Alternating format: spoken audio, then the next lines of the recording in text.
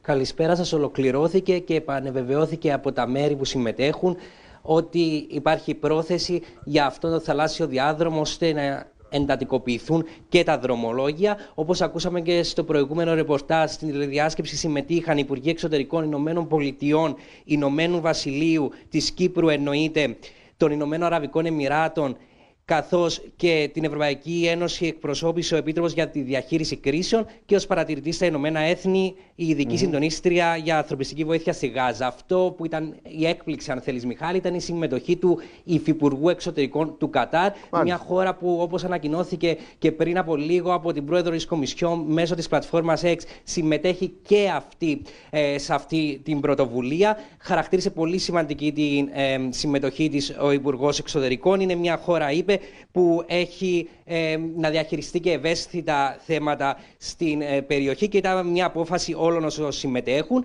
Το δεύτερο πλοίο ε, που θα φορτωθεί ανθρωπιστική βοήθεια, τρόφιμα κυρίως, με προορισμό τη Γάζα βρίσκεται ήδη στο λιμάνι της Λάρνακας και αναμένεται να αναχωρήσει μέσα στις επόμενες μέρες, πιθανόν και εντός της εβδομάδας, ε, Μιχάλη. Θα δούμε πώς θα πάει ε, το πρώτο πλοίο. Όλα βαίνουν καλώς προς το παρόν. Απλώς υπάρχει μια καθυστέρηση γιατί είναι το πρώτο δρομολόγιο, είναι και πιλωτική η εφαρμογή. Μετά, όπως επεσήμανε ο Κωνσταντίνος Κόμπος, που θα γίνει και η προβλήτα που ανακοίνωσε η Ουάσιγκτον.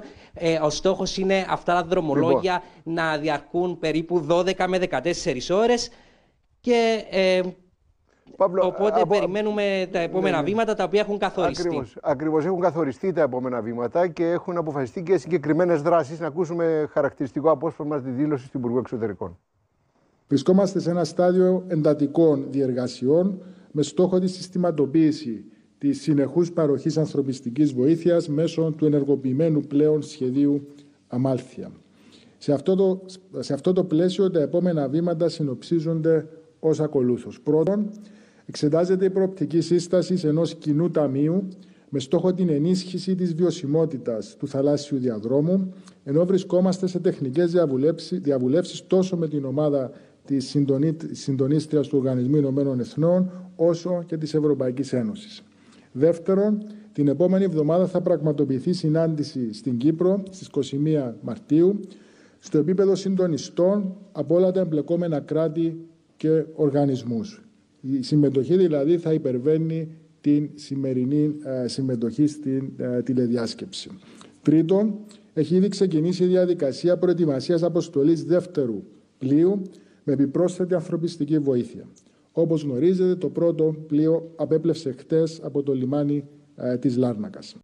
Καταλητικής σημασίας για την επιτυχή έκβαση της Κυπριακής Πρωτοβουλίας είναι βεβαίως και η συμμετοχή των Ηνωμένων Πολιτειών στην τηλεδιάσκεψη υψηλού επίπεδου. Συμμετείχε